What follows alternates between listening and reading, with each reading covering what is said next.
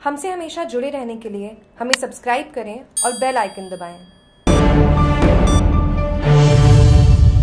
राजस्थान पर मानसून मेहरबान। कई जिलों में झमाझम बारिश। भरतपुर को लेकर बड़ी चेतावनी। जोधपुर संभाग में हल्की बारिश का अलर्ट।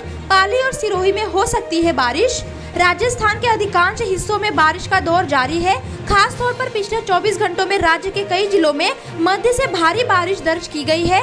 मौसम विभाग के मुताबिक पिछले 24 घंटों में पूर्वी राजस्थान में सर्वाधिक बारिश, गांगरोन, झालावाड़ा में 225 मिलीमीटर और पश्चिमी राजस्थान के मारवाड़ जंक्शन पाली में 205 मिलीमीटर बारिश दर्ज हुई है। इसके अलावा मौसम विभाग ने मंगलवार 27 जुलाई को भरतपुर संभाग में कई जगह भारी बारिश का अलर्ट जारी किया है। मौसम विभाग ने बताया कि पिछले 24 घंटों में राजस्थान के झालावाड़, बांसवाड़ा, प्रतापगढ़, भीलवाड़ा, सिरोही चित्तौड़गढ़, डूंगरपुर, उदयपुर, राजसमंद और पाली जिलों में कहीं कहीं भारी से अति बारिश दर्ज की गई है। मौसम विभाग के निदेशक राधेश्याम शर्मा ने बताया कि आज कोटा, जयपुर, अजमेर, संभाग व शेखावटी क्षेत्र के जिलों में कहीं कहीं भारी बारिश होने के साथ एक दो स्थानों पर अति बारिश होने की संभावना है। आज उदयपुर, बीकानेर, जोधपुर संभाग के जिलों में कुछ स्थानों पर बारिश होने की संभावना है।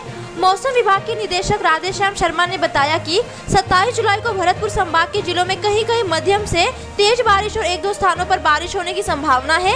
इसके अलावा उन्होंने कहा कि 28 जुलाई से प्रदेश में मानसूनी गतिविधियों में कमी देखने को मिलेगी। मौसम विभाग के अनुसार 28 से 30 जुलाई के दौरान मानसून द्रोणिका रेखा के हिमालय की और खिसकने ऐसी बारिश की गतिविधियों में कमी होने की संभावना है। जागरूक टीवी के जयपुर ऐसी खास रिपोर्ट।